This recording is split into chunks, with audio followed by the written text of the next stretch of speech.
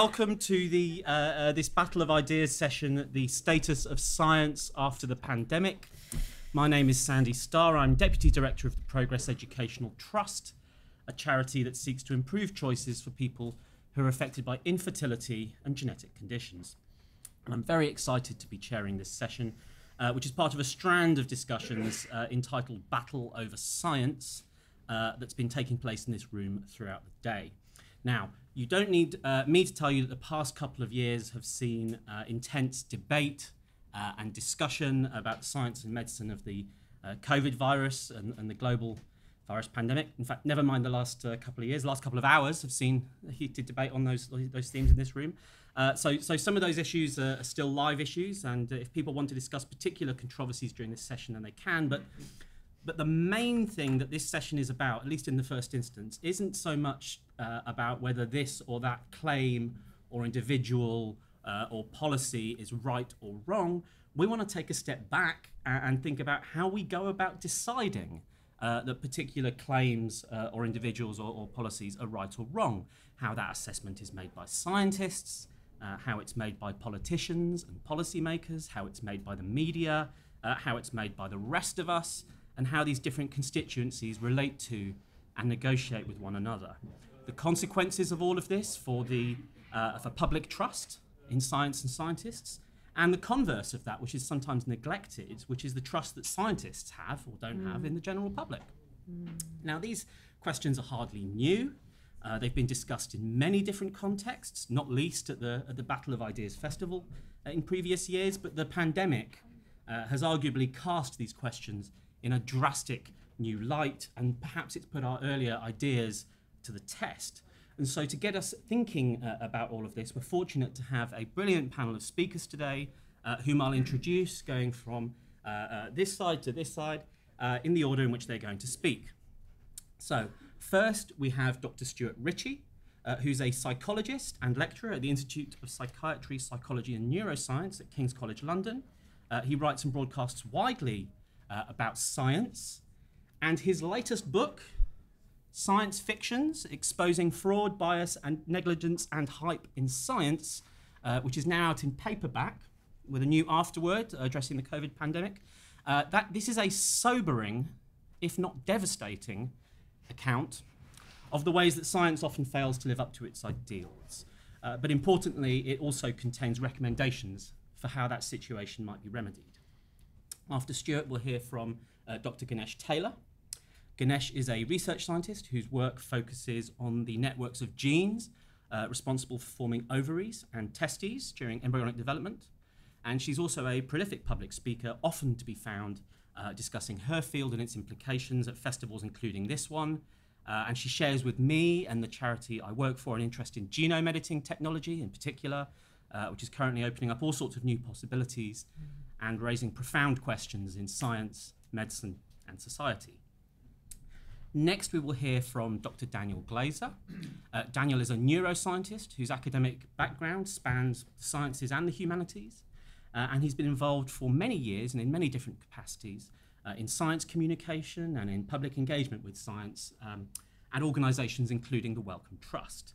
Uh, Daniel is currently Director of Science Engagement at the Royal Institution which has been a hub for scientific endeavour uh, and discussion since the end of the 18th century. So during those 200 and something years, uh, science has weathered all sorts of global upheavals. Uh, so perhaps the Royal Institution and, and, Daniel are well placed to put the recent pandemic or the current pandemic, depending on your point of view, uh, in perspective.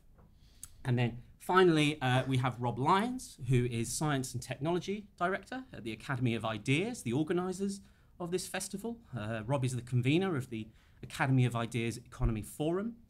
He's written and commented on a wide variety of topics in articles, in reports, uh, in his book Panic on a Plate How Society Developed an Eating Disorder. Uh, he's a columnist uh, for Spiked, and he's been chairing various debates during the weekend which relate to this topic of this session in various interesting ways. Um, that's our speakers. You can find out more about their many accomplishments on the Battle of Ideas website. But for now, without further ado, uh, Stuart, can you kick us off, please? Thank you very much. And thanks, Sandy, for the introduction and for plugging my book, which I, I, I didn't ask you. It was very kind. very kind of you to do that. Um, uh, thanks very much for coming, everyone. And uh, it's it's great to be it's great to be uh, talking in person uh, after after such a long time of looking at my computer screen. Um, there's a um, down the stairs. There's a stained glass window with um, with uh, sort of doves and sort of crosses and things on it, and it reminded me of the last time I was at an in-person conference, which was in February 2020 um, at the Royal Society which has its own stained glass window, and that stained glass window says uh, nullius in verba, right, which is the motto of the Royal Society, which is Latin for take nobody's word for it. And we're supposed to, as scientists, have this motto as our as our kind of guiding principle. Take nobody's word for it. Don't just accept on faith um, what what anyone has said.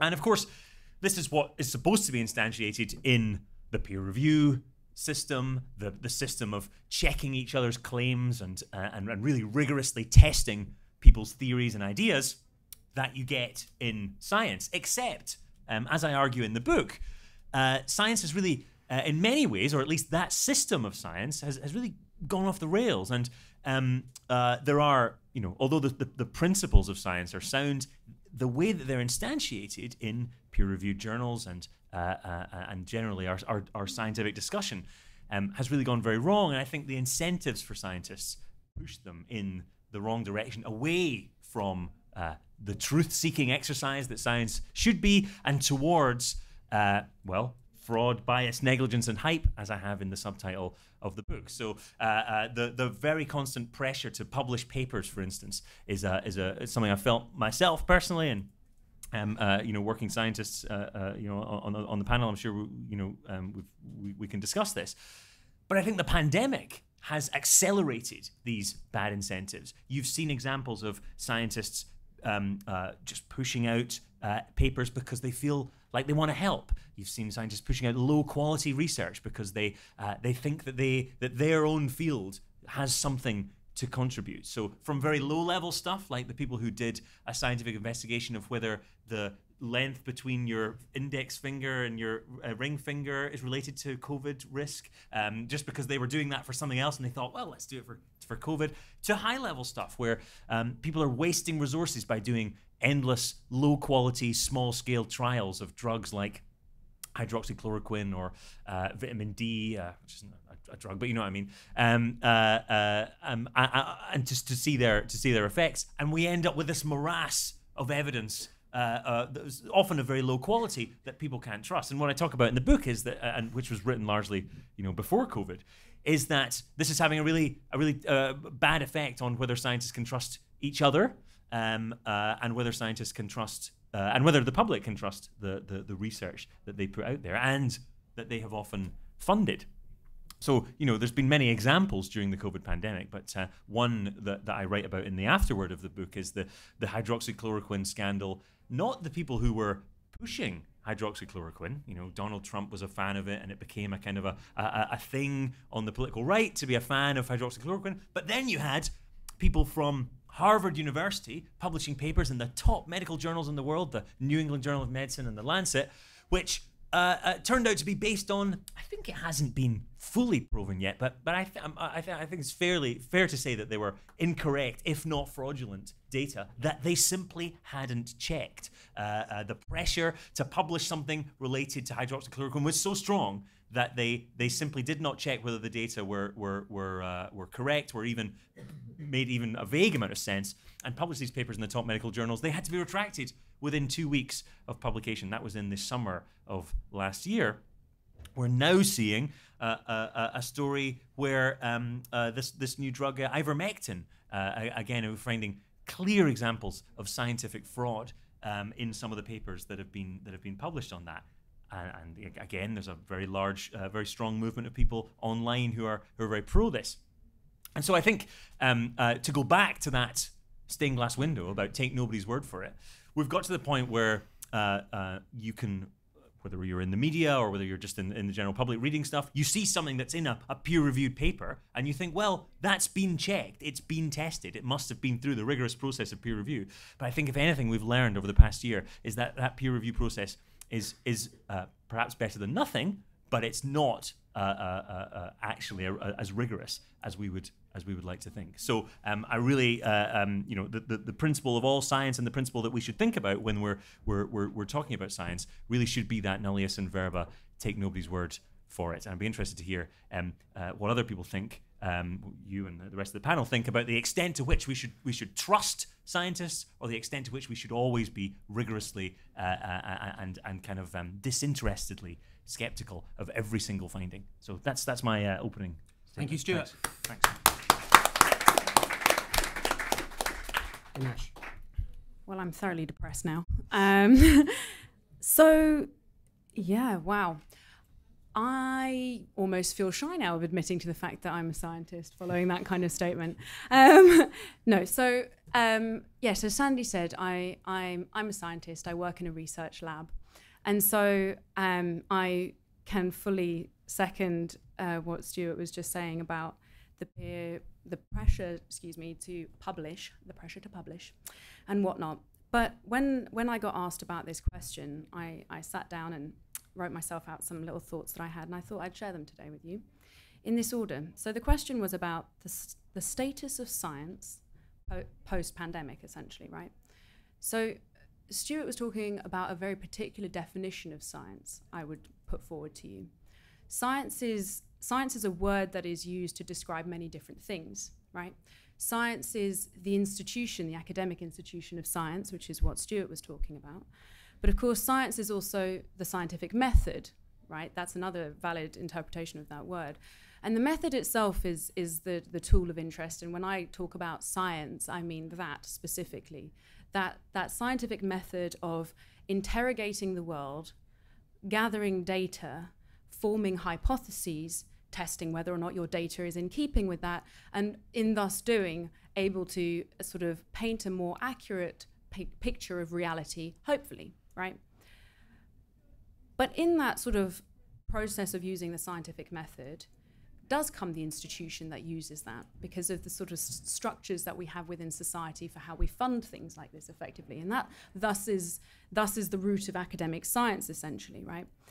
But then within that uh, comes this idea of status which is already alluded to in the question right? Is there status immediately associated with this institution of science is it just status of the institution? Is it status of the people who make up the institution? And so that brings me to the, the, other point, which has been raised to some extent, which is scientists as individuals, right? Mm-hmm. So, you know, I am a scientist, as I said in my opening. That means I've studied some stuff for some years. I'm supposedly trained uh, and supposedly qualified to be able to engage this pr- process of science, the scientific method, with some um, expertise, supposedly. But, and I think that this pandemic has really highlighted that. I studied the specific activity of a specific set of genes in a specific set of cells that do something really interesting during a specific point of embryonic development, right?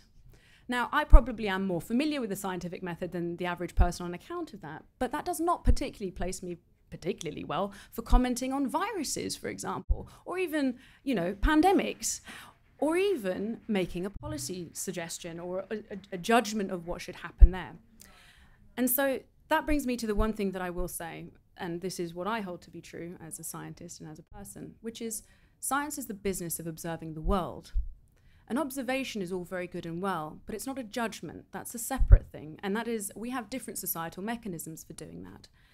And so that is really the problem that we have now. Whose job is it to make the judgments based on the scientific uncertainties that we can observe and, and make? And, and how do we make sense of this? And whose job is it? Um, and I'll leave you with this last thought, which is, you know, quite timely in my case, I think.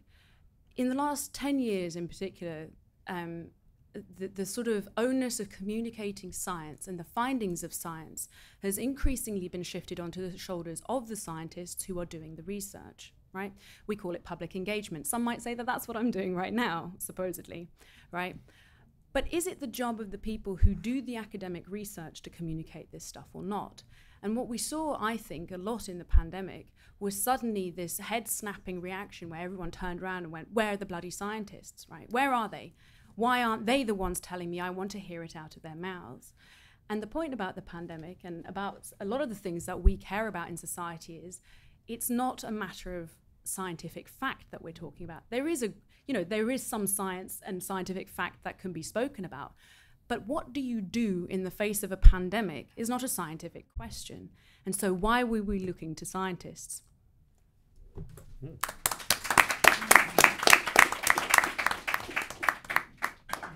Daniel. Thank you, Sandy. Lovely to be here, everyone. Hello. Um, so, yeah, the, the, old, the old joke about how do you get an elephant's attention, um, and the answer is you kick it really hard in the shin. Uh, but you have to be sure that you want its full attention. and that's kind of, as somebody who's been keen on more science in public life, how it's felt a little bit uh, over the last um, uh, few months. I remember you wanted a bit of historical perspective. I remember being uh, in San Diego quite a few years ago. Who knows Radio Lab, the program online? Yeah. Um, so the, one of the presenters, a guy called Robert Krulwich, and he his day job was he was the political correspondent at ABC in the network in the States, and his sort of hobby was uh, was doing uh, Radio Lab and a program I was in then called Nova. And uh, it was the time of the election where George W. Bush had taken a position on stem cells, right, and mm. research on stem cells. And we were lamenting it, chatting on the way to filming a, a thing about mirror neurons, which is something I do know about.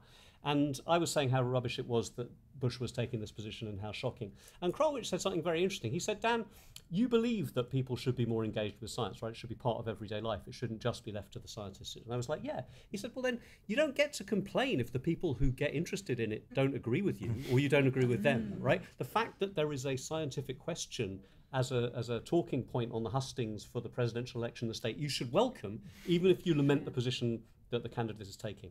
And I think that's something which scientists need to uh, take for real in this context. Public understanding of science doesn't equal public acceptance of science, first of all. Just because you understand it doesn't mean you agree with it. And secondly, it doesn't mean that you agree with the position of the individual scientist. Now, it does seem to me that there's a bunch of paradoxes built into the kinds of pressure uh, on science and on scientists that this pandemic has brought, which are instructive here. And the first thing, and I think, I guess you did allude to this, Stuart, it's, it's kind of accelerated a bunch of things that were true anyway. So I think there's research to show that Nature papers, so those of you that don't know about scientific publishing, Nature is kind of the highest profile scientific journal, and a Nature paper is, is a currency with, with, with, with which labs trade their reputations. A Nature paper is like a very big deal science. The more impactful the story, like a Nature cover, right, the more impactful the story, the higher profile the journal it's published in, the more likely it is to turn out to be false. So there's a positive correlation between impact factor and lack of reproducibility. Stuart, it's more your area than mine, but I believe it's right. So the pressure to be relevant uh, encourages forces, offers an opportunity for scientists to step back from the kinds of self checking that they would normally be doing. And that perverse incentive, I think, is even more true in times of crisis, and we should be aware of it. You know the John Durant thing about there are three things the public need to know about science there's scientific facts, there's how science works, and there's how science really works. So scientific facts is like, you know, that a virus uh, uh, can't be killed by an antibacterial soap, stuff like that. how science works is like about falsification and truth and statistics and all that stuff. And how science really works is how do you get funded, yeah. right? And the, uh, the bit about public engagement, which deals with how science really works, is particularly important, as we would hope, in the preparation for pandemics, mm. but also when, when it becomes super relevant, we need to educate people in that. There's a couple more perversions, or, or let's say infelicities, in the way that these things are structured, which I think are really worth bearing in mind. And the first is a theory which, Sandy, I rather fear I may have described already on a panel years ago with you, but you know, kick me under the table if I have. But it's what I call the, the, the lab next door theory. And, and Günes al- alluded to this in her remarks. If you go to a lab and you say, Excuse me, what are they doing in the lab next door? And they say, Well, they're taking mice and they're taking people with diseases and they're taking genes from the people and putting them in the mice and they're seeing if the mice get the diseases. Right? Because, okay, I get that. You go to that lab and you say, What do you do? And they say, well, we've got a reverse hybridization model of the transcription factors of the DNA dehydrogenase, and Fiona's laughing in the background. And, and, and it's reciprocal, right? Which is to say that the best people to explain science are the people in the lab next door to the science, not in the lab itself. Okay? And so, for the reasons of the perversions of the incentives to publish, and for this weird uh, non-linear effect of closeness, right, it gets worse before it gets better, Yeah. Uh, we should not be listening to the people who are doing the work directly in trying to judge the results that are most relevant to the crises that we face, in my view. There's all kinds of history of science or theory, uh, history of philosophy of science stuff that we should be aware of, particular that what we ought to be doing is trying to falsify our theories, not prove them. And again, in a time of pandemic, that's uh, uh, uh, more or less out the window, um, and we have to be aware of that. And the final piece I would say, and I speak now as a research scientist with children, uh, I think I can say, is this, is being, it's not being recorded, is it? So um, I, I, remember being called when my kids were young by uh, Camden uh, Public Health, you know, the local health authority. Oh, it is being recorded. Um, uh, and they wanted my uh, daughters to get a TB vaccine, right? And that and TB vaccination, if you know, is decided on a kind of borough by borough basis.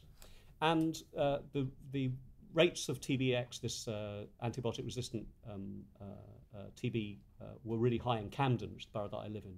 But I was almost sure that the North Camden bit, which I live in, uh, with its nice cafes and, and leafy uh, uh, uh, uh paths and, and, Ham and, Hampstead Heath nearby, was not the place they meant when they talked about that. It was grotty South Camden, Somerstown, and all those areas which were driving the need to vaccinate.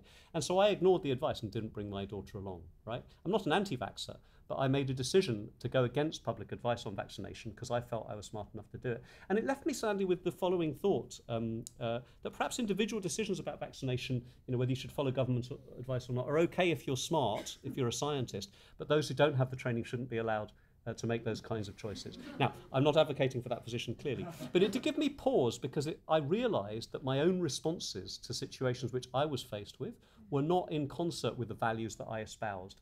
And noticing my own hypocrisy has undermined my own confidence in my ability as a scientist to speak rationally because I observed early on that I don't act that way. And I dare say, you know, those of you who know me might be surprised, but I felt a degree of humility from that. I don't really understand this stuff. If I want to know things, I, I talk to people who do. Even though I'm a scientist, I don't think my views on this are any better than anyone else's. And armed with that position, and then looking up things on the Science Media Centre's Rapid Reaction Force, I felt that I was putting myself in the best position, but not because of my knowledge as a scientist, but because of my approach towards humility.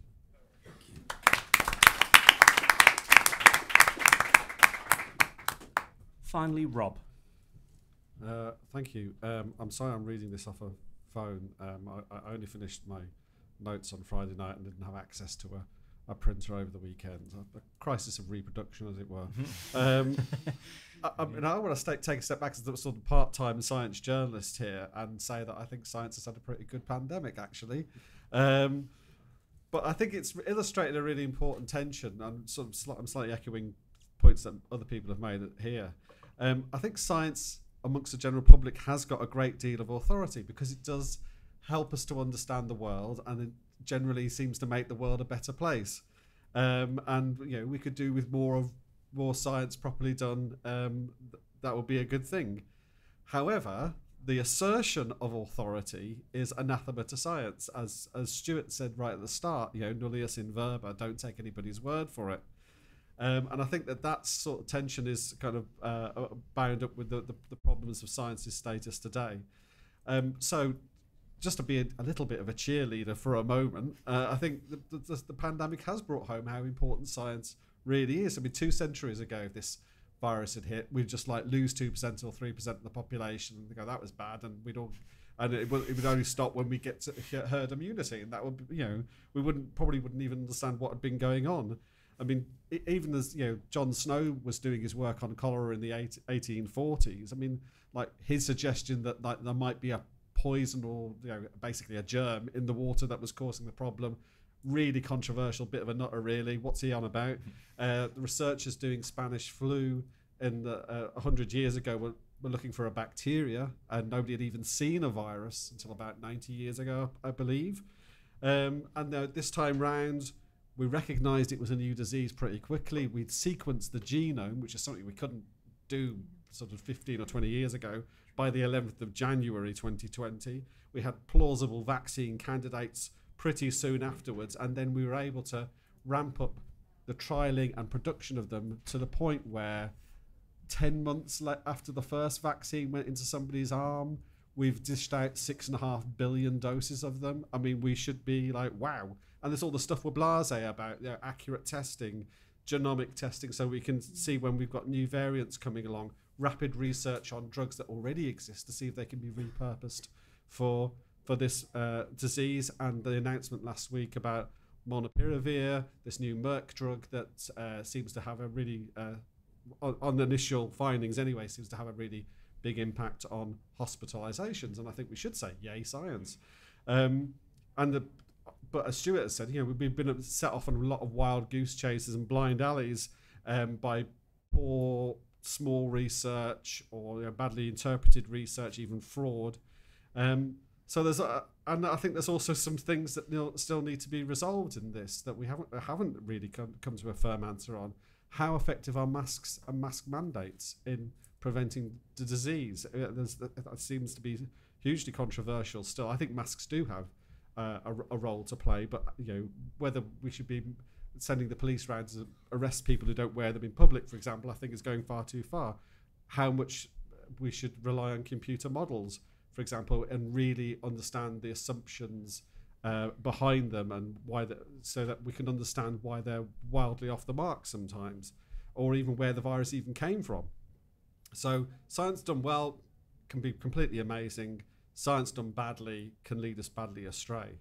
Um, and I get wor- worried about this question of authority, about when science is used for instrumental or political ends, or the way that the, the authority gets used. So Stuart wrote a really good article uh, on for UnHerd this week about um, the fact that you've got these, you know, you've got Nobel Prize winners in one field trying to comment on the pandemic in some completely different field and spouting absolute nonsense about it. Um, and you know, this this kind of credentialism, I've won a Nobel Prize or I'm the professor or something or other at some top university, and therefore I should I have authority on this subject. And a lot of the time, those people are wrong, um, and we have to find a way of being skeptical and asking the right kind of questions about these things. But even in the public uh, sector, I think that, that there are things that we should worry about. So we've seen Chris Whitty and Patrick Vallance on the news an awful lot over the past sort of 18 months. And I think Chris Whitty is a looks like he's an excellent doctor and a very well-meaning, uh, humane sort of guy. But do I, should I take him so seriously when he's talking about obesity and banning junk food advertising?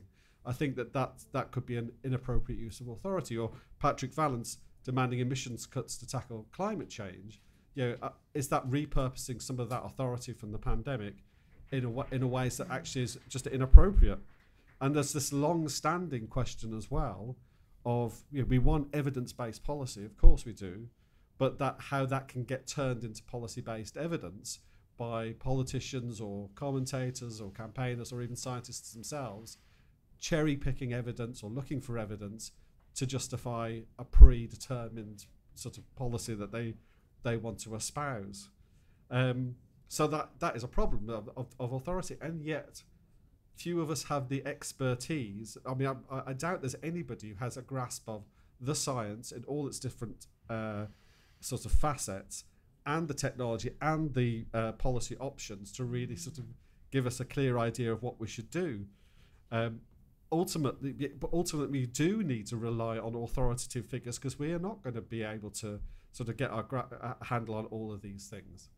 And then there's another factor which is new, I think, um, which is tribalism. So there's this kind of thing. Well, I'm pro lockdown or you're anti lockdown, and we kind of end up cheerleading for our side, even if some of the people on our side are talking nonsense. Um, uh, you know, it ends up in a, a sort of very awkward place, I think.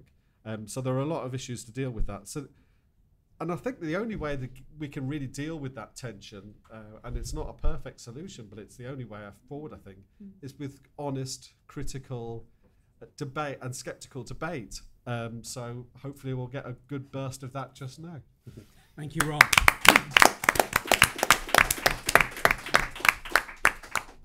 So four different perspectives there. Uh, three people with doctor in front of their name, rather being humble and hiding their light under a bushel.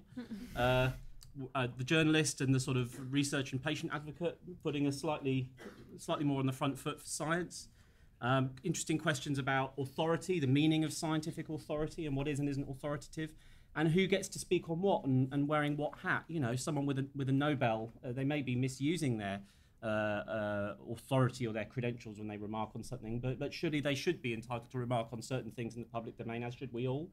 And uh, Günes's views on uh, the science and politics of the pandemic are, are ones I take quite seriously, even if they weren't the subject of your, your research. So, a lot of interesting questions there. And although I I would deeply love to, to dig deeper, I'm actually going to give you guys first dibs and go out to the floor. And I'm going to ask people to put their hands up. There's two roving mics. Thank you. Can I come to the middle here, please? Uh, so one question and I suppose uh, a comment as well uh, that I'd love to hear the panel's kind of views on. So I, I work for a news organisation, um, and the news organisation I work for, I was lucky enough in you know within the company we had a very experienced team kind of reporting on this. We had a brilliant health editor who's very experienced, uh, who's since retired, along with seemingly half of the health editors in the country, which says something about their workload last year. Um, but we also had a science team, all of whom had been sort of, you know, trained as scientists, all very experienced. And I suppose one of the things that kind of uh, made me slightly nervous uh, during the pandemic, especially the throes of the first lockdown, is because it was such big news. You had a lot of science stories coming out from you know non-scientifically trained journalists, and even the stories that came out from the you know the scientifically trained journalists, you know, would say something like you know not this hasn't been peer reviewed, which I think to the large majority of the public public means absolutely nothing, and so there was so much of this coming out. It was very confusing, and so I wondered what the kind of the role of the journalists within this is, because obviously, you know, Nature want to print big papers with big impact uh, factors, but part of that is so that they can get in the newspapers, and obviously, news editors are kind of commissioning lots and lots, and so it felt very confusing from the sort of public's point of view. That's the kind of question, I suppose. th- The point um, sort of comes back to what you were saying, Rob, about the vaccines, and I've got a couple of friends who are kind of vaccine hesitant, and um, lot of them, their main reason for being slightly hesitant is because it happened too quickly. And as someone who kind of you know used to do science and learnt about the kind of how how drugs developed and stuff, I just find it absolutely astounding that the science almost did so well that people were like, "Oh no, I don't want that." So it's kind of like damned if you do, damned if you don't, and that's I suppose more of a comment than a question. Thank you. I, Appreciate I, it. I saw a, um, uh, uh, a presentation by um, Dr. Richard Lindzen, who's a, an astrophysicist from uh, MIT, um, a few years ago at the Royal Mechanical Institute. And he uh, said that, uh, in relation to climate change, he said that um, CO2 is a marginal gas and effectively doesn't really affect the climate. Now, I've not heard that anywhere else. Uh, that's a quite a controversial opinion to take. But my question is less around the sort of the issue of, of, of climate science, but more somebody who um, uh, doesn't understand and is very unlikely to actually understand really what's going up there and how it all works and all the variables and all the rest of it. Like m- probably everybody in this room and you know probably nearly everybody in society. And yet, and yet, uh, scientific papers around that issue are, are, are entirely reorganizing society. So, so my, my, my question is, re- and, and so what people tend to do is go to who they trust and go to the curators and people they trust, or their instincts might be a bit, um, you know, actually I'm sort of pro freedom on this, or I, I, you know, I think there's a sort of anti-human feeling to this, or, or, or what have you. So you tend to sort of fall back on your preconceived, you know, thoughts, prejudices, political views, and what have you. So my, my real question is, how, how do you how, how, you know, how do we make sense of things that are intensely complicated that we can't understand that have a uh, you know a big impact on, on policy? Great. And, and can we have a question at the fr- comment at the front here as well, please? Uh, hello, uh, Dr. Bedell from the University of Manchester. Um, just a couple of quick questions for the, the panel that you might want to um, expand on. First one, um, I've got a, a, an impression that the tribalism that Rob mentioned is particularly bad in the United States compared to here. Um, I just wanted to know the opinions on whether you thought that was true or not. Um, and secondly, if, if that is the case, is that something which is inevitably going to end up coming to the United Kingdom, or is there a way that we can avoid that sort of tribalism? Because I think that's, if it is true, that's something that's particularly damaging that we should be trying to avoid. That was it, really. Thank you. So I will come back, come out to you again in a moment, but I'll, I'll allow the speakers to pick up on anything they like from what's just been said or respond to one another. Um, but I'll recapitulate. Um, we, well, we had a question: What's the role of the journalist in a pandemic such as this? Um, and and the interesting example of the the vaccine hesitant people who uh, who think the vaccine was developed too quickly. Uh, Rob, you were chairing a session earlier with our Greek friend whose surname you can pronounce and I can't, um, who's a very good speaker, and he was of the opinion that the vaccine was developed far too slowly. he thought it should have happened months earlier, and to hell with all the, you know, bureaucracy and, and procedures.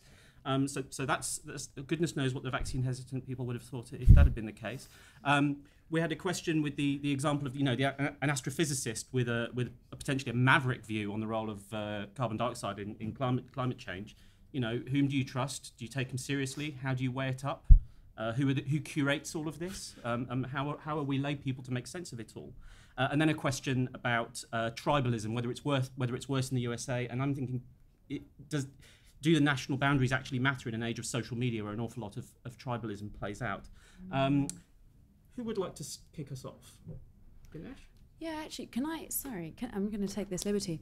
Can you raise your hand if you've heard of PCR? P, does PCR mean anything to you? See. All right. Um, could you raise your hand if you think you could explain how a PCR works?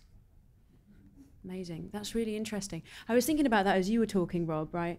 Because on one hand, you raise this really like positive note about how suddenly, you know, people clearly, very clearly, evidently in this room have started hearing more very technical terms, actually, right? PCR is super technical. But then with that comes this bizarre illusion of like, okay, well, now I, I know of it. Is that enough for me to know how to make a decision based on it?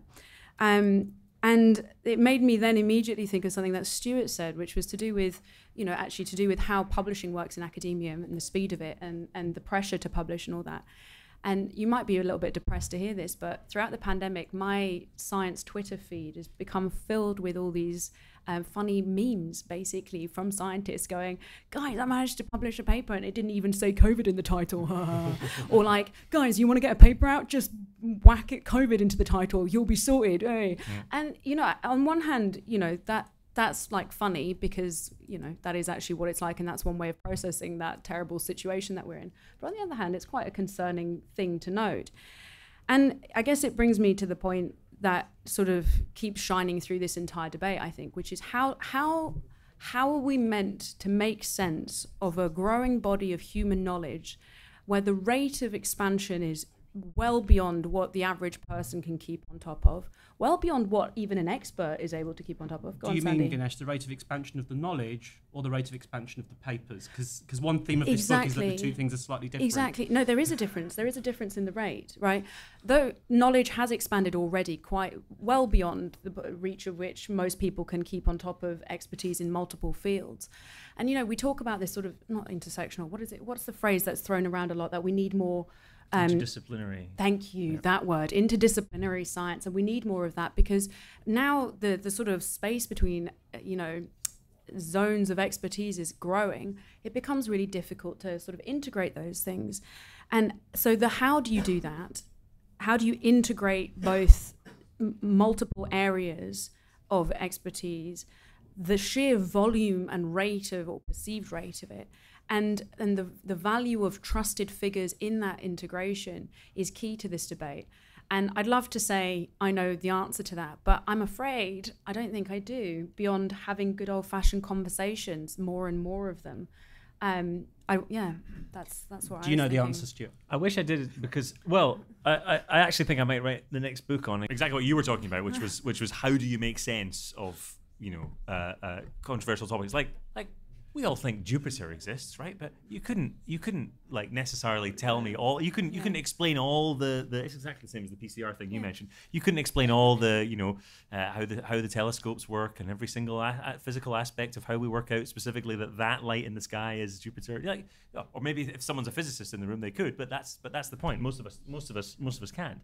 Um, uh, uh, and then you know add add that to the the uh, uh, the fact that scientists can often go completely off the rails. I mean, you mentioned that the, this one lone guy who's saying that CO two is not a, a, an important gas, but you know, the inventor of the PCR test, Kary Mullis, who won a Nobel Prize, spent the last part of his life uh, saying that HIV doesn't cause AIDS, and uh, was a was a was a huge uh, um, proponent of you know AIDS denialism. I guess he you was call really it. high for most of that and time. he though. took a lot of psychedelic took a lot of psychedelic drugs uh, as well. Yes, yes, which is not necessarily something to something to criticize him for, but certainly the AIDS thing was.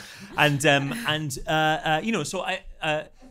The, the scientists who you would hope to be the kind of contrarian authority figure, uh, the contrarian, you know, anti-authority, uh, anti-authority figures, can often be themselves oh, totally off the rails. So um, we need a better system of being able to see which research is high quality and which isn't, right? And at the moment, we've got this system where most of it is done behind closed doors, right? Scientists do their do their research. They don't share their data with the world. They don't share their methods with the world. Often, often people can, you know, uh, the, the, whole point of writing a scientific paper is that someone else can come along and do the same experiment and get the same results, right? But but in in, in, in almost every single case, that's that's not possible. Um, there was a cancer research reproducibility project that happened a few years ago where they selected 50 papers from the cancer research literature to try and replicate, so other other independent labs could could try and find the same results. And in not a single case could they even start to do the experiment because there wasn't enough information in the papers that people published.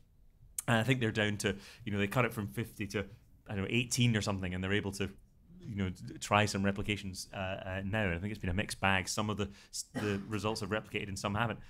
But that tells me that, that there's a real serious problem in, in, in these in these scientific publications, which are supposed to be the currency of science and all that. And you you know you mentioned the whole idea of a nature publication being the being the most exciting thing you can get as a scientist. But what's the point of them if, if you can't actually come along and, and, and evaluate them? So we need to uh, uh, change the way that we publish research, and there's lots of different ideas for this. Some of which are talk about the book, but you know some of which are, have come about in the last you know the last year or so about how we, we, we change the way that, that scientists publish. So it's not a matter of doing all, everything behind closed doors and then sending it to a, a, journal, a scientific journal, and saying, you know, take my word for it that I did it this way, and then tell me whether you think it's good or not. Um, uh, it becomes much more of a kind of a, a, a, process where you say, well, I've got an idea for a, a scientific study. Let's let's agree that that, it, that it's actually going to be good and it's going to answer the questions that we want it to answer. Um, and then you go off and do it and the journal agrees to publish it, whether or not it comes out with the result they want, the result they don't want, uh, something that's uninterpretable or ambiguous. Um, uh, I think that is the way we should be changing uh, uh towards to, to, to, to, do research instead of. Again, this whole just take my word for it, uh, um, this thing that's behind closed doors. So, this is this whole idea of open science that people talk about, that putting data online, putting methods online to allow you know people who are interested to, to, to go in. Because if you have nothing to hide, uh, why hide it? And I'll, I'll bring you in, uh, Daniel and Rob, but just to ask a question as well. If yes, we have these uh, uh, credentialed scientists or Nobel-winning scientists who, who go off the rails or, or whom nobody takes seriously. Um, but is there is there a place for the converse? Because okay, we may not have a, a, Renaissance man like a Da Vinci or a man who knows the whole of natural history like Darwin, um, but someone who aspires to know a lot of things and talk to the public about them is that person inevitably a dilettante or talking through their hat? Uh, or is there a role for such such public figures? It's easy for those of us in science communication to get cynical, but um, um, well, there was someone did a study, I think, uh, an investigation. When was the last? Uh, uh, uh, it is a bit gendered, isn't it? But when was the last man alive who knew everything? Right? When was the last man alive who knew everything? And they thought it was probably about 1720. You could have you could have kind of known everything then, and then from that point, it all became a little bit more complicated. and from that point, there was no one there was, it was impossible to imagine a person who actually knew everything. I think at that time include literature. And I think that there's a really important point here, which speaks to me about engagement, which is that, and I think you said this a little bit, Rob, nowadays in science, and particularly with interdisciplinary science, um, uh, it's impossible for a big relevant study. I know this from, let's say, Sanger Institute that was doing uh, research into artemisinin resistant uh, uh, malaria in, in uh, the Thai Burma border with some Karen refugees. You know, they said if we're going to do the ethics of this properly, like properly so that everyone can understand it, there's one thing I can tell you for sure. It will have broken out by the time we get the ethics through. So we have to react fast. But to do that study, you needed epidemiologists, informaticians, geneticists, uh, you needed pediatricians, uh, and there is no single scientific discipline that could understand all the bits of science that were necessary to do the study. So in that case, what you need is engagement. And this is the converse of the lab next door theory. Public engagement or engagement starts at the door of your lab. Because if you're going to collaborate with other scientists, you need to be able to explain what you do outside the coterie language of your own discipline.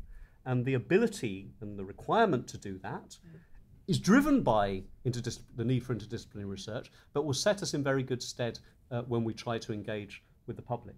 Now, you asked for a historical view. I just want to make two quick points. Jupiter, so um, you know that bloke, uh, the Galileo thing, Copernicus, and the whole Earth going around the sun, sign going around the Earth. So the evidence was against Galileo, Copernicus at the time.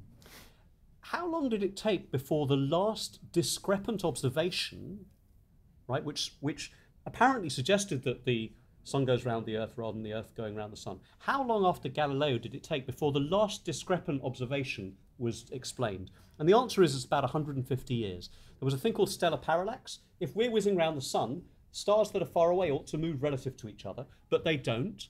Well, it could be that they're very, very far away, Yes. but they have an apparent diameter. So if they're far enough away and you can do the trig for them not to move relative to each other, with they must be absolutely huge. they have to be enormous, and that's unbelievable.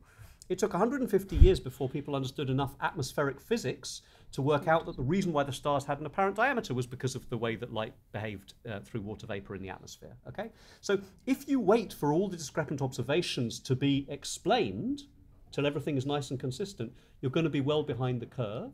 But equally, we can't have a scientific revolution every 10 years. So I think that, you know, we have to be a little bit careful about our quest and our demand for evidence, in my view.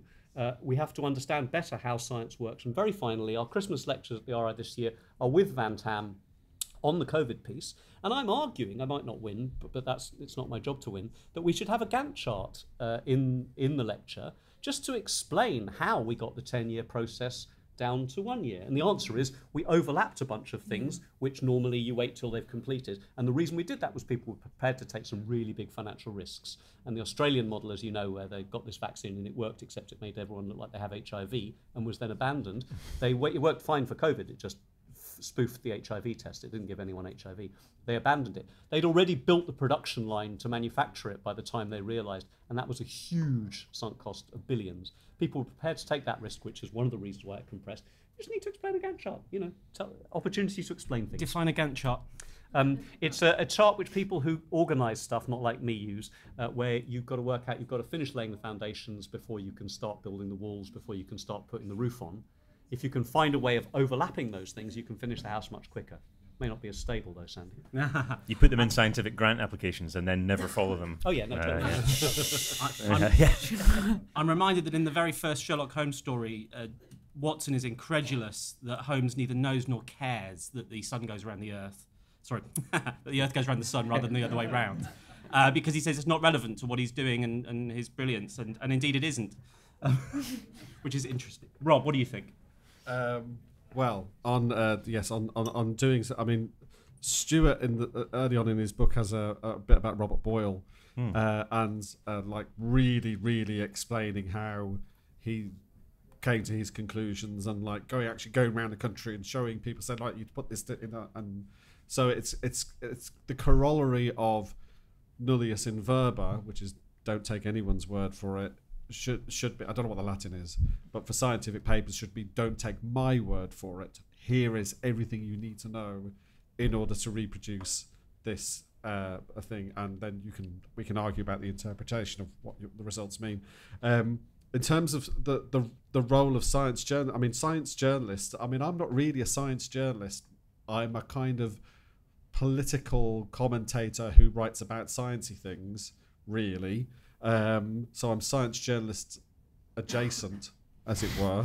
um, but yeah, I mean, science journalism is really, really important. And actually, there wasn't enough of that in, for example, the press conferences when the hard-hitting questions have been asked by Robert Peston, who's an idiot when it comes to science, for example. Um, that's a really big that that that shortchanges the public because it's not really holding politicians accountable in a useful way. Uh, and I think some yeah, I mean I, I really like Tom Chivers. I really like. Uh, I thought James Gallagher and Nick Triggle from the BBC have done some very useful things, and I've been quite critical of Nick Triggle in the past, but it, I think he's had a good pandemic in terms of trying to question things. Um, I think the role. I'm sorry to blow your trumpet, Fiona, but the, the Science Media Centre does a useful job in bringing scientists and journalists together uh, about these things, and they talk so that the journalists can kind of they can ask the questions as the bridge between the public and the science, and try and m- make sense of it for us, the public. Um, so I think that that's a, a very very useful task. Some, so that's the bridgehead, I think. And so, so actually, journalism is really, really important in terms of this. In terms of tribalism, um, the I I mean, I'm not sure whether it is much better here. It's just on a smaller scale. I mean, uh, about three or four weeks ago, I just sent out a little tweet because people kept saying this thing about the vaccine. Exper- it's experimental, um, and I just said, "We've delivered six billion doses of it now. I don't think it's experimental anymore." And I just pile on, and I'm sure a lot of the people that were, were from the UK or from Ireland or whatever that the um, uh, the, you know, something like, oh, it's only been 10 months or whatever. I know, but that's a lot of doses. I think if there's bad things happening, we've got a pretty good sense of what, what is happening now. Um, and, you know, the, some of, you know, some of the biggest uh, sort of wrong-headed thinkers on things um, have been from the British Isles. Uh, uh, uh, Ivor Cummins springs to mind as always a, a, as a great uh, touchstone of thus how to completely misinterpret data to um, uh, to, to forward a certain position on uh, on the world. But there are plenty more like that. So we've got it here in this country as well, and they have followings. Um, so the only thing I think you can do, I mean, I won't go back to the point I ended on in my introduction, is debate, and and in particular, obviously, we don't physically debate like this all the time. But if you're, for example, on social media, follow the people you think you disagree with, as well as the people that um, you do agree with or you do trust, because you know sometimes there's some useful points made by the, your opposition that Mm. will think they're actually they're just right, or at least you've got to explain the observation or the point that they're making in your own terms to disagree with them. I think that is a very very useful thing to do in general. So yes, listen to people you dis- generally disagree with because occasionally they're right. I mean, I don't want everyone to pile on Rob, but you know, things have been sped up during this pandemic. You know, to get the vaccines out there. Some people think they were sped up too much. Some people not not fast enough. Corners were cut. People think that. You're more than welcome uh, to say it here and now. Um, and I, I, I hope we discuss preprints as well. Obviously, there's a huge amount of misinformation on social media. You've already mentioned Ivor Cummins, and many other people like that.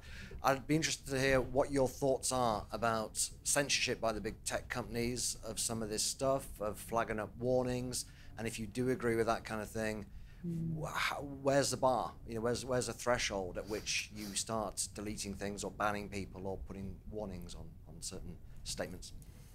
Hi there. Thank you very much. I'd like to thank the panel for speaking to us today. It's been very interesting listening to you all. Um, I think my comment really is more directed towards Rob Lyons. You've made the point just a moment ago that uh, we've uh, delivered six, mi- six billion doses of this, uh, this vaccine, uh, and it's not experimental anymore. I'd just like to remind the panel that we did have a drug called thalidomide, which was very highly thought of, very widely distributed, and it took four years to draw the connection between thalidomide and the miscarriages and the deformed births that it caused. So, what are the panel going to say if we get four years down the line and we suddenly find that this drug is another thalidomide?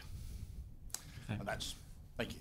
So, just on Stuart's thing, I'm coming straight down with you to buy a book. It sounds fantastic, and I didn't know about it. Um, but I just think if, obviously, you've just only had five minutes, but if your theory is right, then COVID would have been disastrous. Um, if the way we're doing science is massively lowering the quality of science, I just think this 18 months would have been a story, or as, as everybody's talked about, speeded out preprints, all of this. And I kind of, I mean, I've spent 18 months working on this. And I have ranted every day. I have been angry with journalists. I've been angry with scientists. I've been angry with government because in the heat of it, so many things went wrong. But it does feel like in the last month or so that I've had time to kind of sit back and reflect how has this gone? And I actually think it's a really positive chapter in the story of science in the media. Um, and I think if you look at MMR and GM and much more recently antidepressants coverage and e-cigarettes and uh, I can't think of what other statins, for God's sake, food and diet, they're actually not good chapters. They're, they're bad chapters. They've been covered badly. I think people have gone off antidepressants because of misleading information, have not taken up e-cigarettes that could have saved their lives. I just don't see that big problem wi- with the way, you know, we, we didn't know anything about this virus. We knew nothing. We didn't know if people transmitted it to other people. We didn't know about immunity and how long it lasted. Well, we still don't know, actually. Um, we have learned so much through science. The list that Rob gave, you know, the, the variants we found very. It, it feels like it's a much more positive story of science. And yes, we've all got examples. I had one, a, um, a UCL space scientist who decided to do some modelling. Um, and it did get picked up a bit by the media, but actually, you know, the benefit of having these specialist science reporters in the newsroom um, and being deferred to quite often. I think hmm. Sean Linton from the, from the Indie said for the first time ever, I was the most important hmm. person in my newsroom. And all hmm. these political people were asking me. I don't know if Pe- Peston was, I suspect he wasn't, but generally they were. And they do know a, a, a bunch of space scientists doing epidemiological modelling was not one to report. These things went viral on Twitter, but they didn't go viral in the news media. And in fact, one of the stories of this pandemic is thousands of people around the world coming back from social media and Twitter where they had fun, but for their news, their trusted news, they came back to legacy media. So it just feels to me like if your book was right, this would have been a disaster because we would have, you know, after all these years of driving down quality of science because of the way we do it, we would have seen it everywhere. And I'm not sure that we did. Yeah, first of all, I'd like to say I think it was a disaster. Um, so, uh, two things. First of all, uh, going back to your points that you've made, uh, there does seem to be a need to disconnect uh, science from the scientist. Obviously, there are Mm. perverse incentives, there are incentives, there are advocacy um, reasons why research is being done. Uh, consequently, if we put them both together, then uh, we are um, we are serving bias that we are not acknowledging. But the, the second point is, and this is the question for the, the panel, is what role do you think that scientists have had as decision makers as um, a shield for politicians for any mistakes that are made, they can say there is an esoteric um, activity going on. We don't know. We've got our PPE degrees and our uh, humanity degrees from um, Oxbridge. Uh, it's the scientists' fault. Um, if the science is so straightforward, why did Sweden take a completely different view? If it's all about science, why did the government over override the JCVI about vaccinating 12-year-olds? And if it's so straightforward, why were eight of the 20 people on SAGE behavioural scientists? If this disease was so deadly, it would have been obvious and we'd all have been scared to death of it without being frightened by the government. Okay, I will. I will come back to the panel. If this book was right, would the last 18 months not have been a disaster? Were the last 18 months, in fact, a disaster? Media, uh, social media censorship, is it justified? And, and by the way, Facebook's been having a bad couple of weeks, but one thing that's emerged over in the States is their sort of VIP list of people who don't get banned as easily as the likes of us if, if we step out of line. How do we know there's not another thalidomide scandal in, in the making? If there, how would, and if there was one, uh, how would we react? And then coming down to brass tacks, uh, are scientists acting as a shield for the accountability of government, or vice versa, depending on the situation? Um, and how do you account for the differing policies in Sweden and the UK, uh, uh, and for the disproportionate number of behavioural scientists on SAGE? Uh, you look eager to jump in, Stuart. Well, I'll I'll answer the one about my about my book, I guess. Um, uh, which I, I feel I I, I, think that I don't really know how to answer that question because I think in some ways uh, this pandemic has, as I said at the start, you know, shown all the bad stuff that we do in science and the, the uh, you know accelerated all the bad incentives as we've as we've discussed. But in other ways, um, the science has had more scrutiny than science has ever had. Uh, well, I, I think ever in, in, in, in the history of any of any research. You know, we've had the entire world suddenly super interested in you know each new development in in, in, in COVID, and thus I think the standards in some cases, especially for vaccines, had to be had to had to be much higher um, than they would than they would otherwise have have been because the, the entire world was looking at it. For other things like you know you mentioned nutrition research, diets, and and statins and all that, you know there are people interested in it, but it's not as, as much of a pressing, massive concern that we must look at every single table and scrutinize every single number. Um, and, and perhaps that the lesson is that we should be doing that for all the uh, for all science. We should be having specialist science reporters. We should be having um, extreme skepticism of, of, of, of each new of each new piece of research. Um, you know, I went to a talk recently by Robert Plomin, who's one of my colleagues at my centre, mm. and he was saying that you know, he's a behavior geneticist, and obviously behavior genetics is an extremely controversial area of research.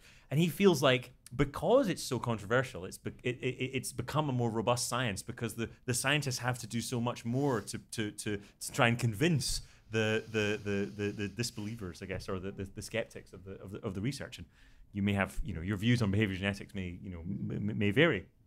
Um, but I think um, uh, the, the the science has progressed um, almost in spite of all the problems that I that I discussed. So you know, a lot of the a lot of the stuff um, uh, that that we've learned about, about, how science has gone wrong in the past you know ten years or so since the, the replication crisis discussion began um, has been put into to to, to, to practice. So uh, um, the randomized controlled trials um, of of, of vaccines and another another uh, uh, um, another treatments were pre-registered, you know, for instance. So we had the, the, the, analysis plan online, and we could very rapidly see whether the scientists were mucking about with the data, um, because they had they had shown what they planned to do beforehand, and we could we could say, well, actually, and there were a couple, you know, the AstraZeneca, the initial AstraZeneca trial, they did change a couple of things uh, uh, about the, the the the procedure that they'd planned to do, and they gave they had to give reasons for it. Now, you know, back in the day, or indeed in many other fields of science you still don't have to pre-register it. You can still muck about with the data. You can still do whatever you want. So I think almost almost because it was a pandemic, we were we were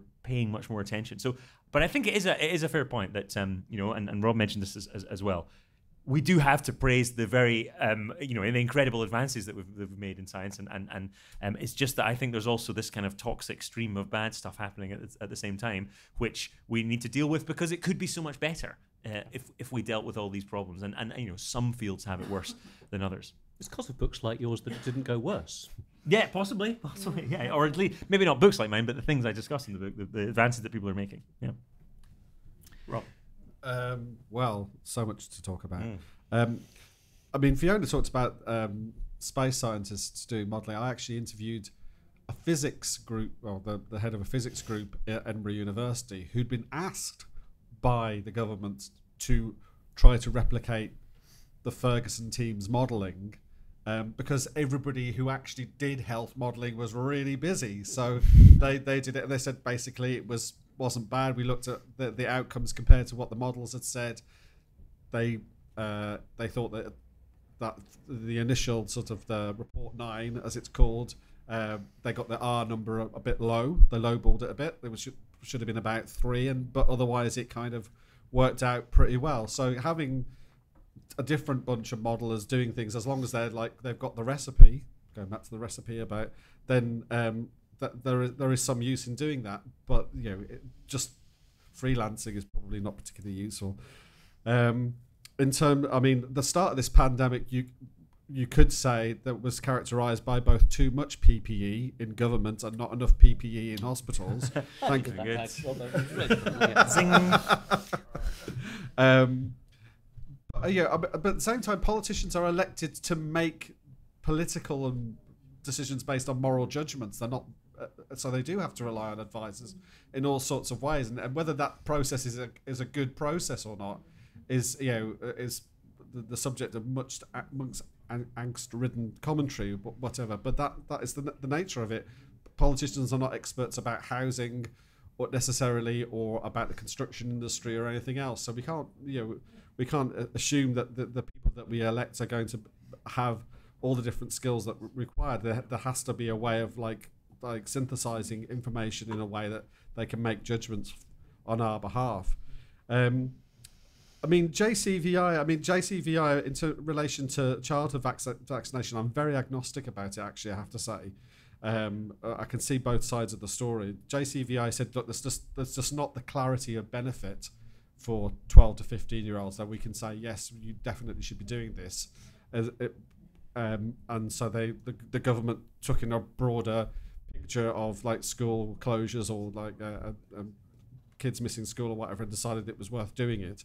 Um, that's I, I, still don't have a clear opinion about that.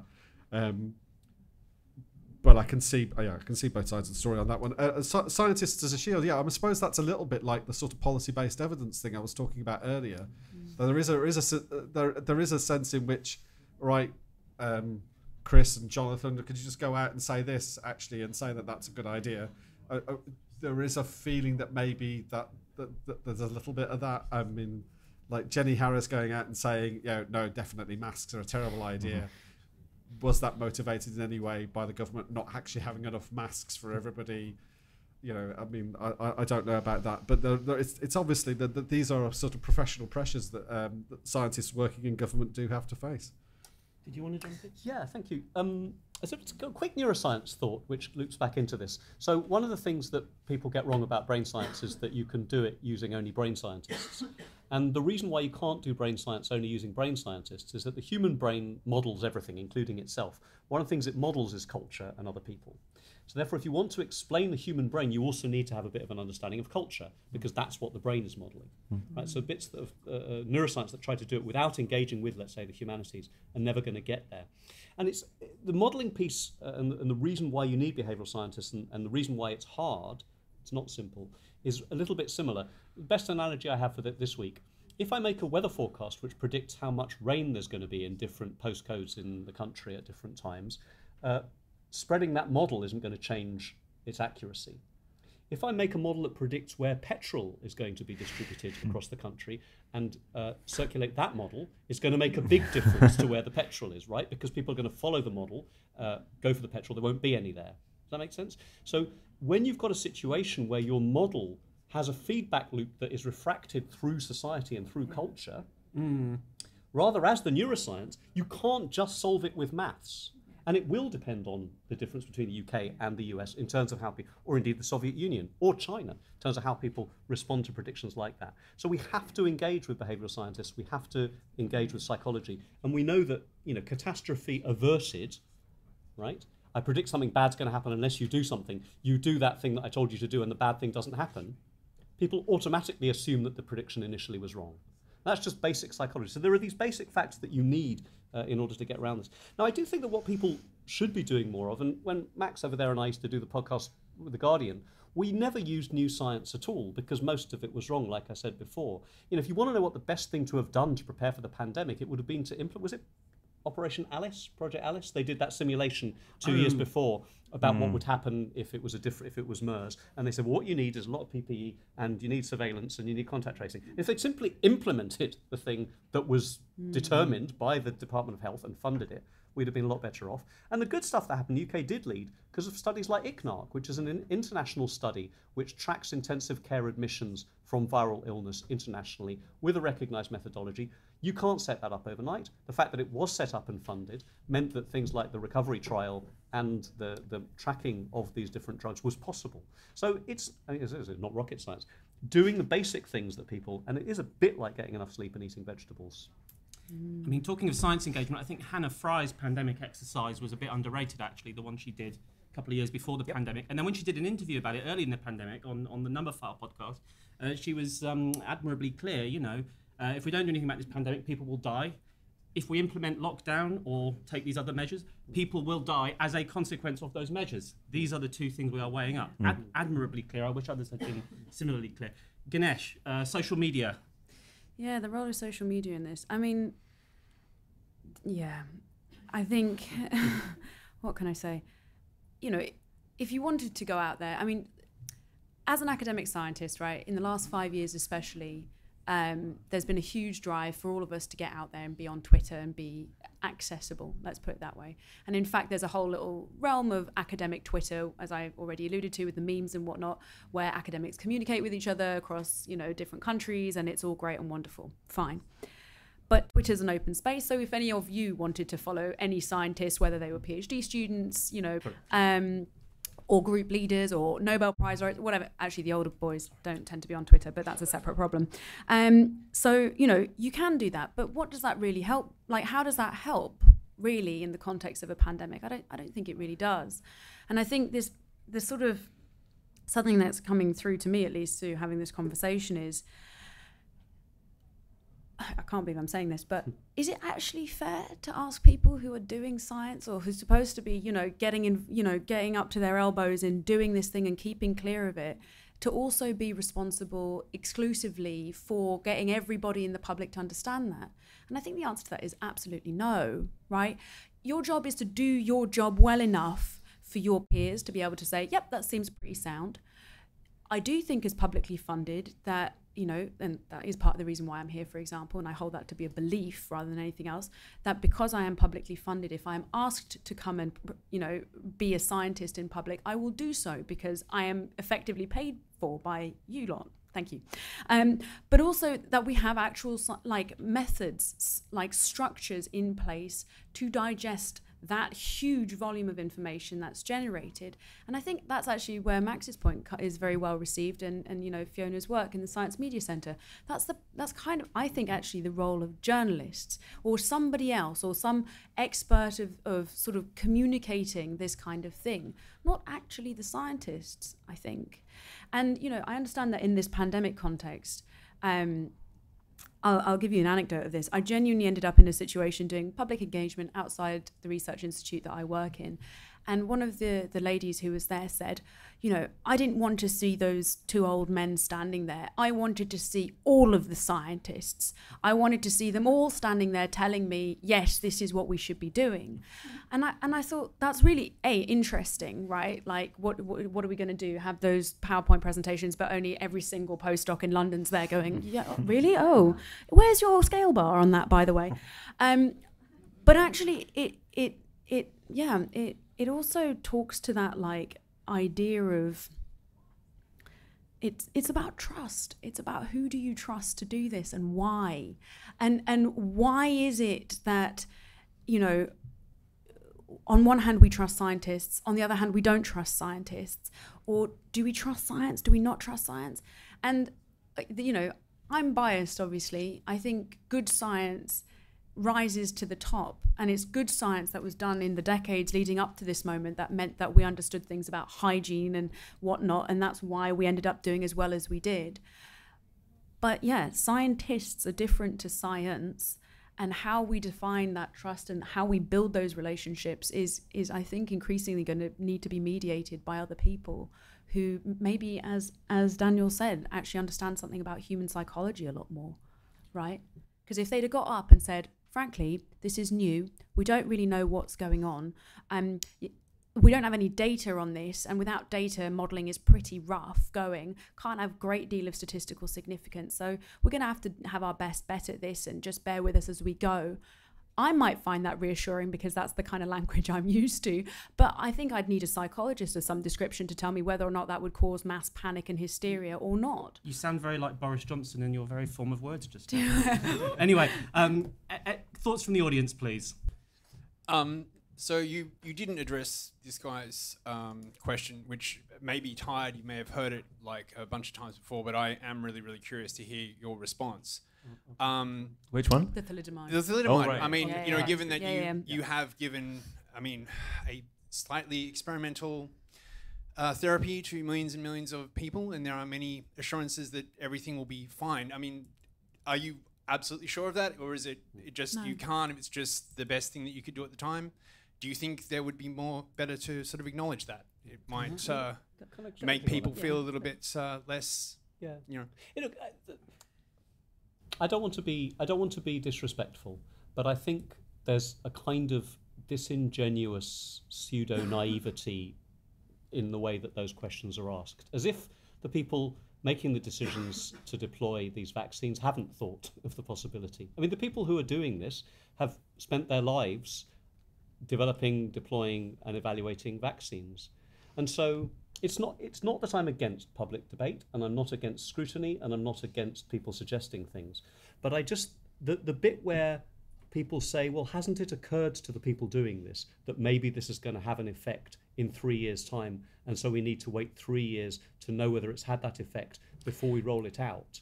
Like it's it's an obviously good question, but it's not as if it hasn't occurred to the people doing it, and it's also not as if they wouldn't lament the consequences of it, but that in their judgment, based on, in this case, years of data in a domain of deploying potentially harmful drugs to children globally, they've made that call. So you can have an argument about the detail of it, but the bit where people go, well, haven't they thought that maybe there's a consequence, feels to me almost like a disingenuous Well- question, but maybe I'm being a bit unfair in asking. Well, that, I agree with all of that, Daniel. But the problem is, if you say the sort of thing you just said on YouTube, you will get banned. Sure. Yeah. And Sorry. I'd be interested to hear what people think about I that. mean, Or what, what, What I said was that I thought the question was disingenuous. Will I get banned for saying that? Um, I know lots of people who've had very adverse reactions to the vaccine, and lots of people have got cancer now, and some are terminal. And I only know one person who died of COVID, and he had a heart bypass. And all the censorship and everything else really, you know, it makes me very uncomfortable and worried and concerned why lots of things haven't been banned on the internet for ages, and suddenly, you know, we can't discuss anything, and lots of very bland sites have just been banned, and lots of people, you know, having their Twitter switched off. So I really don't like that aspect.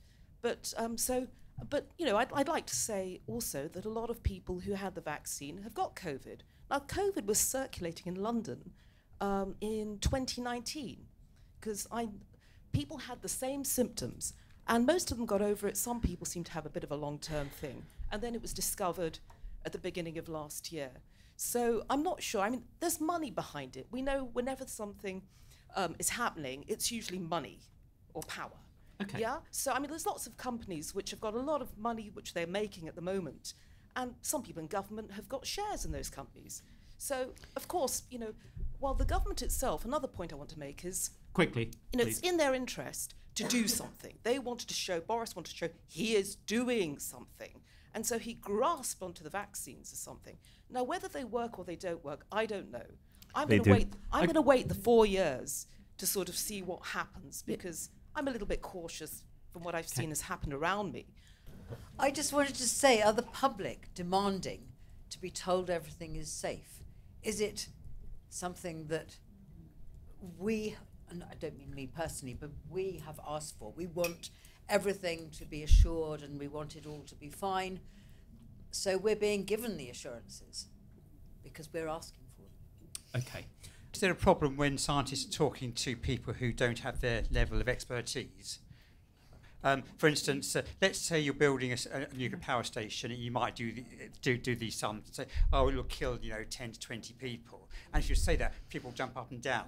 There's the thing with COVID. You, you, you, you, do the you do the calculations. People take jabs. There's, there's always some people get a side effect. So you might kill a thousand people. You might save hundred thousand lives or whatever. Well, guess what? The thousand gets all gets all gets all things.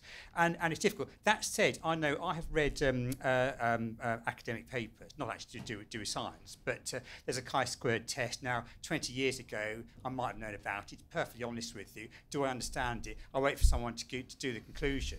What actually happens is I look at various things, and when people say something, if I there's 300 something I do know about, and I know it might not be true, that's how I, that's how I do the test. If I know nothing about the subject, how, how, how, how, how, how, how do I know? I can only really see do I do I trust the people?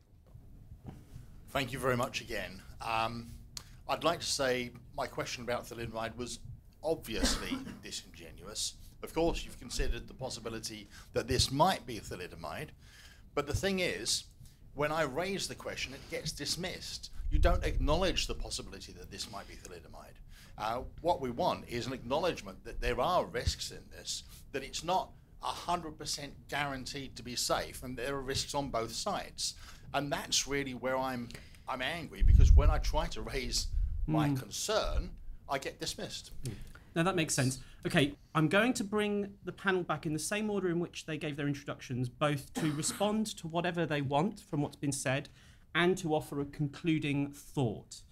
Now, things that need to, nettles that need to be grasped include the thalidomide question, Mm. include the getting banned from YouTube, Facebook, what have you question, Mm. and include the feeling talked down to Mm. question, which in, which relates to the behavioural science issue because you know none of us like I, I suspect certainly I don't like being thought of as part of a model that someone else is studying and having someone talk to me accordingly. It somehow makes me feel like someone's talking down to me, whether that's true or not.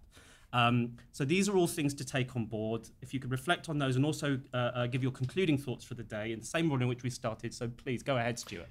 Yeah. Um, uh, well, it's a, a, a few different things, I suppose. Um, I think we should grasp the nettle of the thalidomide question. I wrote an article uh, also for UnHerd way before we had the vaccines, um, when uh, we were sort of preparing for the wave of vaccine skepticism, vaccine skepticism that there might be, and uh, and, I, and I, I, I- said we should bear in mind that there have been some vaccines that have had unexpected uh, bad effects in the past. The flu vaccine in the 1970s in America had to be had to be pulled because of bad uh, uh, reactions that people didn't expect. Um, there have been various others, and and you know there are rare cases where people do get injured by vaccines and, and, and so on. But the point that I think people miss when they're when they're you know being skeptical about vaccines, being um, you know bringing up things like thalidomide is the background of the situation that we're in was a pandemic. Like the background of the situation we're in was that that, that hundreds of thousands of people were at risk of, of getting this disease and, and, and, and you know and, and potentially dying, especially if they were if they were elderly, um, of, of this really bad disease. And I think so much of the, the commentary about COVID, whether it's about the vaccine effects, whether it's about the freedom, the effects on freedom of you know lockdowns and, and, and so on, it, it's almost it's almost a bizarre sort of um, a surreal situation you get into because the people asking the questions never concede that yes okay there was a pandemic happening and I think possibly some of that is because of you know the sort of uh, uh, people who don't believe that COVID was dangerous at all in the first place which obviously is, is, is, is an incorrect view. But um, but uh, but but I think you know to have a kind of more sophisticated view, we can't just we can't just say, well, it's nothing like thalidomide. Shut up. We're not going to we're not to answer that question. Um, we have to give reasons, and I think people do give reasons. So you know, um, we've got lots of evidence from previous vaccines about when long term effects happen, and long term. When we talk about long term vaccine effects, it tends to be things which occur very very quickly after the vaccine, but they but they they last a long time. So there are there are very rare cases of that. But um, I don't think there's there's any previous evidence of things appearing further down the line, you know, years and years and years down the line that are that are adverse effects. For instance, so that would be like a prior that we should put into our Bayesian calculus about the the, the damages of the vaccines. Anyway, and I I just wanted to also say that. I, I think I think cracking down on social media and saying that people can't say things is a terrible idea, and in fact feeds it, it feeds into uh, uh, conspiracy theories and and general alienation from mainstream scientific thought. And I think it's a, it's an awful idea, and I hate the idea of of, of saying something and having it censored by some social media. Uh, uh, um, intern uh, who's who's uh, who's going through all the YouTube videos and saying you can't say that, you can't say that. Terrible idea, um, and, and I think just makes the problem worse. Has anyone seen a thing on a on a uh, you know a little um, you know they had a little thing appended Oh, to a tweet saying this is misinformation, um, and, and and and really change their mind? I, I suspect. I suspect not. I'm gonna. I'm gonna. Let's clap at the end. I'm gonna. Even though I agree. I I also agree, though. I'm gonna leave the the censorship point to the to the psychologist, um, basically in this context. I'm also now going to speak very much as a human being, um, very candidly as an individual, um, and I'm going to talk to the vaccine hesitancy crowd because this is what I have been doing throughout the entire pandemic as a human being. Um, I think it's really important to say, I understand. We understand, right? It's totally okay to be worried and scared about something like this. Um, as Stuart said, we were in the context of a pandemic. That's a big, scary word. Everyone's piling on televisions. Every form of media we're looking at is telling us people are dying. This is right. This is wrong. You should do this. Put this in your body. Don't put this in your body. Do this with your body. That's a high, highly stressful situation. And I'm going to confess that when I first started reading up on the vaccines, I thought about it quite a lot. I thought, wow, you know, we haven't really had four years worth of people who are willing to get tested with this vaccine, injected, and then exposed to COVID just casually in the lab, right? For someone to give me a stat on what the likelihood of this thing having any effect or efficacy is, right? We don't have that luxury. And how on earth do we pick those people to begin with, right? And then ultimately, when I was offered the opportunity to get vaccinated early, because we were involved in the vaccination program itself, so I was asked if I would be willing to vaccinate others. I sat down and I did a little chart known knowns, known unknowns, risks, costs, benefits, all this kind of thing. I have a whiteboard in my living room because I'm a nerd like that. Mm. And I really sat down and I thought about it and I got quite anxious, right? And so, because I did all of that, I maintain the fact that it's okay for people to think, I'm not sure. I think that's totally fine. You're entitled to do that. You are meant to make your decision as you do. I made my decision despite the fact I'd had many conversations with many scientists who privately were also saying, gosh, you know, listen, mRNA vaccines, you know, they've only been tested in the context of cancer patients. But, you know, hey ho, they, they've done the tests or whatever. You know, even in the scientific community, we have faith in other scientists doing their jobs right. And for me, this is just the one thing I'm sharing now as a human being. I made my decision to take the vaccine even though no one can tell me for sure, because there is no certainty in this context, that I will be fine next year, in five years' time, 10 years' time. But then again, no one can tell me for sure that if I'd caught COVID, I'd be fine in that time either. And for me, the ultimate trump card came when I realized that I was sat there washing my hands, putting hand cream on my hands, putting nail varnish on my hands, eating out of a plastic Tupperware pot, God knows what else, right? And I suddenly had this moment where I thought, I'm not sure I know the long term effects of pretty much anything that I've touched today. So why is it that suddenly I'm obsessing about this? And I've been, when I went to Vietnam, I got vaccinated for malaria. Did I once question that? No. Last Christmas, before the pandemic, when I got vaccinated for the flu, I started reading the leaflet and I thought, geez, I don't want to know this. And I put it away. I said, just put it in my arm, I'll be fine. And you know what, ladies and gentlemen? In February of 2020, right before as the pandemic was happening, I caught the flu and got hospitalized by the flu despite having been vaccinated.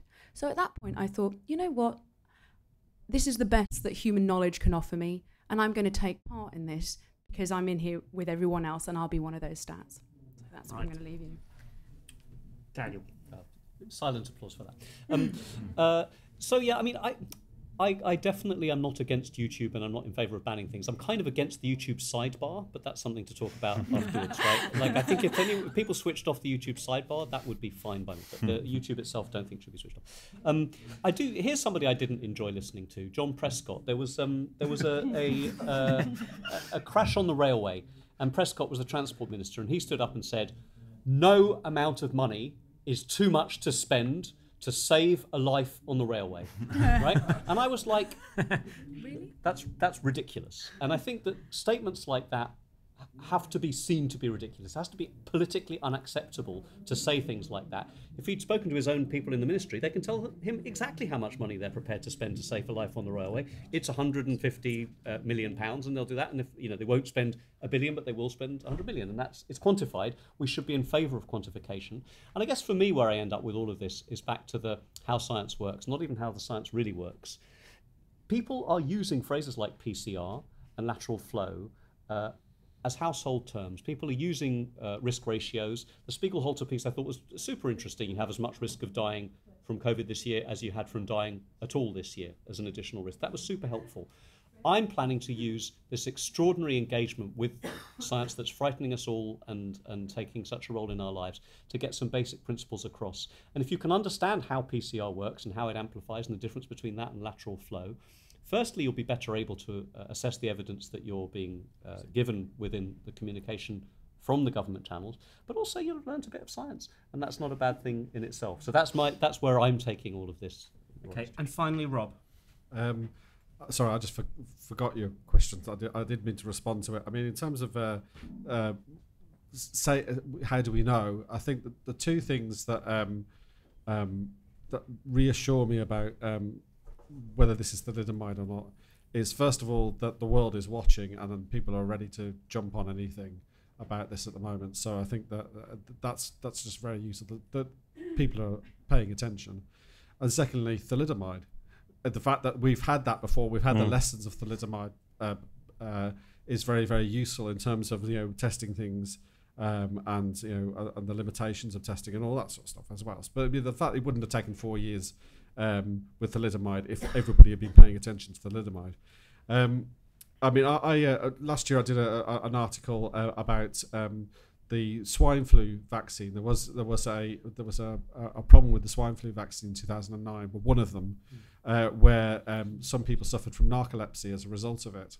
And I I talked to the um, the the head of the the narcolepsy charity that you know represents people with with this. The, fir- the first thing I would say, conclusion I had from that was that the um, there isn't enough support for people, financial support for people who've ha- who have had been affected by vaccinations. The, the current system is absolutely pathetic. Really, it's like there's one uh, sort of award a year or something like that, and it's about 100 grand limit on it. So I think that uh, in that article I said with that it needs to be brought up to date, and there has to be a, a much faster system for dealing with all that. Secondly, the guy from Narcolepsy UK didn't get narcolepsy from the vaccine; he got it from swine flu. Mm. So th- that is always the trade-off: is that whatever the vaccine might do to you, chances are the virus itself will probably is more likely to do it to you. So um, th- that's one of the things factors for me as, as well in terms of um, uh, of taking the vaccine. Is it, it? I think it will protect me against, uh, give me a better chance if I do, uh, ex- you know, become into contact with the, the with the virus. Um, on the the YouTube banning thing, I'll end here. Um, just, I mean, the, if you think you've got weeds, there's two ways you could deal with it. You could try try weed killer and try to sort of deal with the individual weeds, or you could just concrete over your garden. And I think just censorship is like concreting over the garden.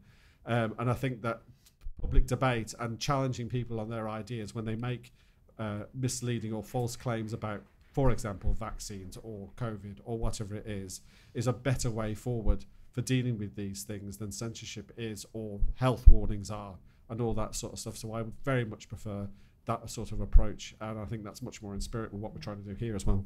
Right. But let's thank our speakers.